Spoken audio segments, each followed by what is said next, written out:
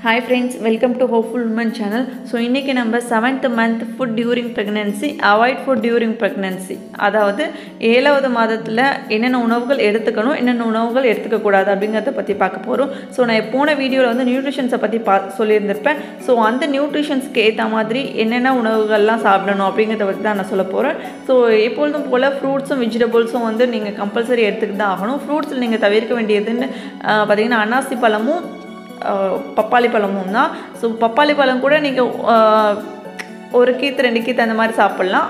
Weekly once அந்த மாதிரி. But pineapple வந்து நீங்கள் எடுக்கவே கூடாது.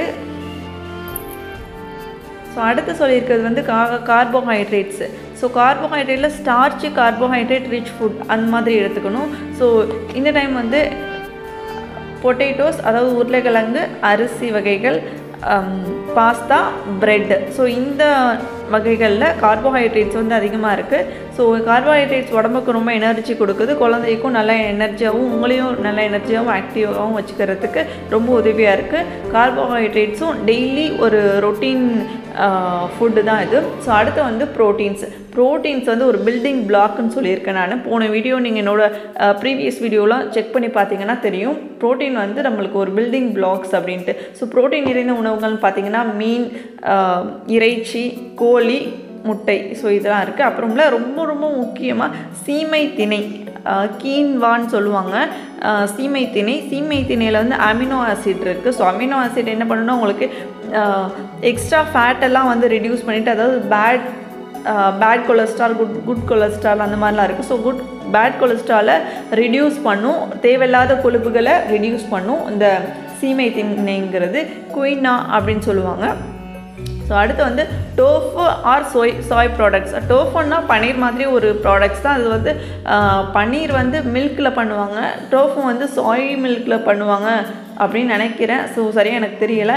So soy product soy ப்ராடக்ட்னா soya milk soya beans soya nuts இந்த மாதிரியான ப்ராடக்ட்ஸு ஸோ அடுத்து வந்து பீன்ஸ் um, பயிறு வகைகள் பருப்பு வகைகள் நட்ஸு சீட்ஸு அடுத்து பீனட் பட்டர்ஸ் இதிலெல்லாம் ப்ரோட்டீன்ஸும் அயனுமே நிறைய இருக்குது ஸோ பிரிட்டிஷ் அண்ட் பிரேஸ்லியன் ஆராய்ச்சி முடிவில் ப்ளஸ் ஒன்கிற பத்திரிக்கையில் வெளியிட்ருக்காங்க என்னென்னா சீ ஃபுட் அதிகமாக சாப்பிட்றவங்க அதிகம் இல்லை ஒரு நார்மலாக சாப்பிட்றவங்களுடைய மைண்ட் வந்து மை ரொ- கொஞ்சம் ஸ்ட்ரெஸ் ரிலீஃபாக இருக்குமா? இதுவே சீ ஃபுட் சாப்பிடாதவங்களுடைய மைண்ட் செட் எப்படி இருக்குன்னா ஒரு ஃபிஃப்டி த்ரீ பர்சன்ட் வந்து அவங்களுக்கு ஸ்ட்ரெஸ்ஸாக தான் இருக்கும் அப்படின்னு சொல்கிறாங்க ஸோ சீ ஃபுட் வந்து ரொம்பவும் நல்லது ப்ரெக்னென்சி டைமில் ஸோ அடுத்து வந்து ஃபேட் ஸோ ஃபேட் பற்றி நான் ரொம்பவும் இம்பார்ட்டண்ட்டாக சொல்லியிருக்கேன். அதாவது ஃபேட்டை வந்து ஃபேட் கண்டென்ட் உள்ள ஃபுட் வந்து முப்பது சதவீதத்துக்கு மேலே அதிகமாக சாப்பிட்டோன்னா குழந்தைக்கு கல்லீரல் மூலியமாக தன்னோட மரபணு மூலியமாகவே வந்து டயபெட்டிக்ஸ் வர்றதுக்கு வாய்ப்பு இருக்குது அப்படின்ட்டு இன் ஃப்யூச்சரில் டெலிவரிக்கு இன் சொல்கிறாங்களே ஜீன்னால சுகர் வரலாம் அந்த மாதிரி. ஸோ அந்த மாதிரியான சுகர் பிரச்சனை வர்றதுக்கு வாய்ப்பு இருக்குது ஸோ இப்போ வந்து ஃபேட்டில் வந்து குட் ஃபேட் பேட் ஃபேட் அப்படின்னு இருக்குது ஸோ குட் ஃபேட்டில் நான் என்னென்னங்கிறத சொல்லுவேன். சொல்லிடுறேன். ஆலிவ் ஆயில் கடலெண்ணெய் சூரியகாந்தி எண்ணெய் எ- நல்லெண்ணெய் கடுகு எண்ணெய் அவகடா அப்புறம் சில நட்ஸும் சீட்ஸும் இதிலலாம் வந்து நல்ல கொழுப்பு நிறைந்த உணவுகள் இருக்குது அதாவது இதெல்லாமே வந்து அளவாக சேர்த்துக்கிறது தான் என்றைக்குமே நல்லது.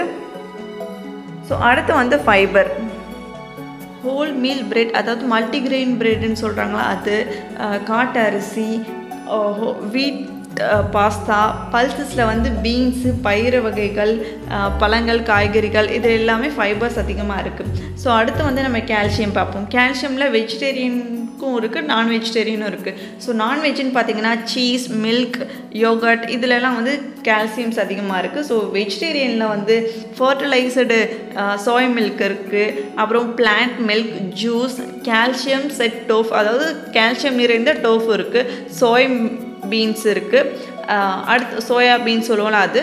ஸோ அடுத்து வந்து சைனீஸ் கேபேஜ் பாக் சாய் அப்படின்னு சொல்லுவாங்க. அடுத்து broccoli ladies finger mustard green அதாவது கடுகு கீரை அதில் பீன்ஸு பரட்டைக்கீரை சாய் நட்ஸ் ஸோ இதிலெல்லாம் வந்து கால்சியம்ஸ் வந்து அதிகமாக இருக்குது ஸோ அடுத்து வந்து ஜிங்க் பார்ப்போம். ஜிங்க்னு பார்த்திங்கன்னா சிக்கன் டர்க்கி பிக்கோட தை கறி அது இறால் நண்டு oysters meat fish dairy products beans peanut butter nuts sunflower seeds ginger onion wheat germs rice pasta cereals egg lentils and tofu so இதிலெல்லாம் ஜிங்க் நிறைந்த உணவுகள் இருக்குது ஸோ அடுத்து வந்து அயன் ஸோ அயன் பார்த்தீங்கன்னா அயன் ஏற்கனவே நான் நிறைய டைம் சொல்லியிருப்பேன். இருந்தாலும் நான் ஒன் டைம் ரீட் மட்டும் பண்ணுறேன் நான் உங்களுக்கு டீட்டெயில்டாக வேணும்னா என்னோடய ப்ரீவியஸ் வீடியோ செக் பண்ணி பார்த்துக்கோங்க. ஸோ இதில் வந்து dried beans dried fruits dried ஃப்ரூட்ஸில் ரொம்ப இம்பார்ட்டண்ட்டாக ஆப்ரிகாட்டில் அயன் அதிகமாக இருக்குது ஸோ எக்கோட யாக் அதாவது மஞ்சள் கரு வந்து கருவில் அயன் அதிகமாக இருக்குது whole grain cereals lean meat oyster ஆயிஸ்டர்னால் சிப்பிகள். Uh, குக் பண்ணது. அடுத்து வந்து கோழி வகைகள் சால்மன் மீன் டியூனா ஆட்டுக்குட்டி அதுலேயும் அதிகமாக இருக்குது அயன் அடுத்து பன்றி இறைச்சி uh, செல்ஃபிஷ் பயிறு வகைகளில் lima beans soy beans kidney beans dried beans peas seeds peas இருக்குது ஸோ சீட்ஸில் பிரேசில் நட் ஆல்மண்ட்ஸ் இதில் அதிகமாக இருக்குது வெஜிடபிள்ஸில் ப்ரொக்கோலி ஸ்பினாச் கீரை வகைகளில் அதிகமாகவே அயன்சத்து இருக்குது எக்ஸாம் எக்ஸாம்பிள் பார்த்தீங்கன்னா முருங்கைக்கீரை. முருங்கைக்கீரையில் அவ்வளோ அயன்சத்து இருக்குது அடுத்து அஸ்பாரகஸ் கொலாட்ஸ் கேலி. ஸோ இந்த மாதிரி கீரை வகைகள்லாம் நான் பிக்சரில் அப்லோட் பண்ணுறேன் ஸோ அயன் கண்டென்ட் அதிகமாக உள்ளது கீரை வகைகள் தான். வெஜிடபிள்ஸ்னால் க்ரீன் லீவ்ஸ் ஸோ ஃபுல்லாக வந்து கீரை வகைகள் தான் அதிகமாக இருக்குது அடுத்து ஹோல் கிரைன்ஸ்னு பார்த்தீங்கன்னா brown rice oats millet and wheat so non வெஜிடேரியனுக்கு lean meat fish poultry so இதிலலாம் வந்து அயன் கண்டென்ட் அதிகமாக இருக்குது ஸோ இப்போ வந்து ஃபுட் வந்து அவாய்ட் என்னென்ன ஃபுட் அவாய்ட் பண்ணலாம்?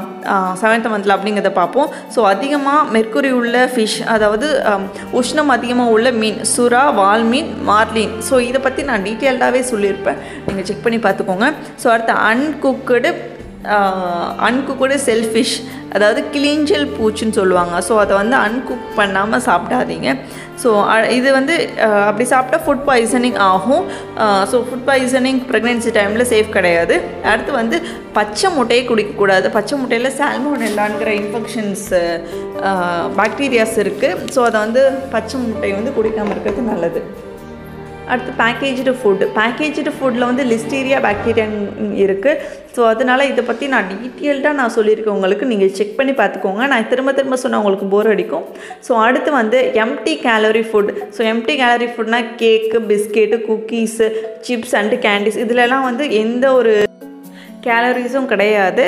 ஸோ இதில் வந்து அதிகமான சுகர் இருக்குது ஃபேட் இருக்குது ஆனால் கம்மியான நியூட்ரிஷன்ஸ் இருக்குது அதுவும் இல்லாமல் இது வந்து அன்யூஷுவல் பாடி வெயிட்ஸ் அதாவது உங்களுக்கு தேவையில்லாத கொழுப்புகள் சேர்ந்து வெயிட்டை வந்து அதிகரிக்கும். இது வந்து ஹெல்த் கிடையாது. நம்மளுக்கு வந்து நேச்சுரலாக தான் வெயிட்டுக்கு வந்து வெயிட் வந்து கெயின் ஆகணும். அதனால் நீங்கள் இந்த மாதிரி கேலரிஸ் ஃபுட்டெல்லாம் வந்து அவாய்ட் பண்ணிக்கிறது ரொம்ப நல்லது. அடுத்து ரொம்ப முக்கியமாக ஆல்கஹால் ஆல்கஹால் கண்டிப்பாக ப்ரெக்னென்சி டைம்லேயும்